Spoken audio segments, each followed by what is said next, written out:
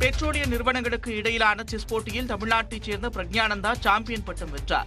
பெட்ரோலிய நிறுவனங்களுக்கு இடையிலான செஸ் போட்டிகள் புனேவில் நடைபெற்றது. இதில் இந்தியாவின் தலைச்சிறந்த கிராண்ட் மாஸ்டர்கள் பங்கேற்று பலப்பரீட்சை நடத்தினர். ஒன்பது சுற்றுகளாக நடைபெற்ற போட்டியில் தமிழ்நாட்டைச் சேர்ந்தவரும் இந்தியன் ஆயில் சார்பில் விளையாடியவருமான பிரக்ஞானந்தா தொடக்கம் முதலே முன்னிலை வகித்தார். இறுதியில் ஆறு வெற்றி மூன்று டிரா என தோல்வியை சந்திக்காமல் ஏழு புள்ளி ஐந்து புள்ளிகளை கைப்பற்றி முதலிடம் பிடித்து சாம்பியன் பட்டத்தை தட்டிச் சென்றார். தமிழ்நாட்டு வீரர்களான கார்த்திகேயன் ஏழு புள்ளிகளுடன் இரண்டாவது இடத்தையும் அதிபன் அதே ஏழு புள்ளிகளுடன் மூன்றாவது இடத்தையும் பிடித்தனர். முதல் மூன்று இடங்களையுமே தமிழக வீரர்கள் பிடித்திருப்பது குறிப்பிடத்தக்கது. இத்துடன் இந்த செய்தி தொகுப்பு நிறைவடைகிறது. அண்மை செய்திகளுக்கு தொடர்ந்து இணைந்திருங்கள். இது நியூஸ் எயிட்டீன் தமிழ்நாடு.